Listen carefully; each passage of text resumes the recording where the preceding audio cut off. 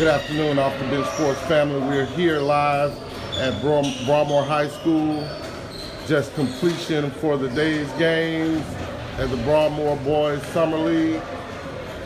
With us we have Timothy Jackson and John Paul Ricks. Timothy is to our left.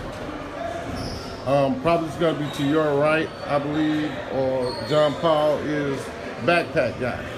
What's happening, fellas? How y'all doing tonight?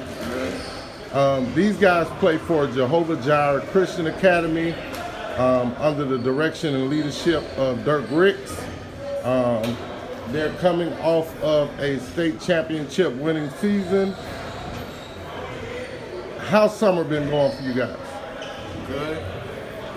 It's been well. Been well? We just keep working. Just keep working. Um, John Paul, this one is for you. Um, as an eighth grader, you started for Jehovah Jireh, um, probably average double digits in scoring for the season. What, what's your secret? Just keep working and try to get better. um, how, how did you garner so much respect from your peers um, being in eighth grade though and playing at such a high level? Like taking on what they give me and taking the leadership. Okay, that's what's up. And how, how, how was it, Timothy, in winning your first state championship? Good, feel good.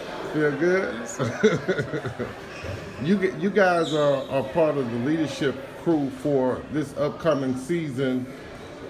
Um, we'll, we'll go with you on this one, Timothy. What's your responsibilities with the team?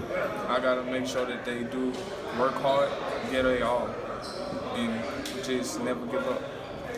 What, what about you, Jay?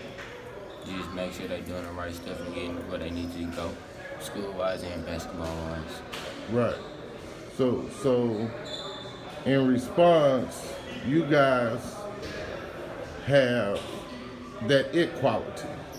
That that it being that whatever it is needs to be done, you guys are ready to take on that task.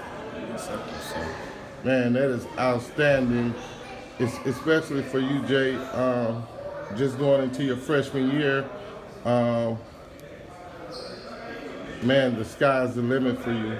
So again, thank you guys for taking a moment with Off the Bench Sports. Remember, get off the bench, get into the game.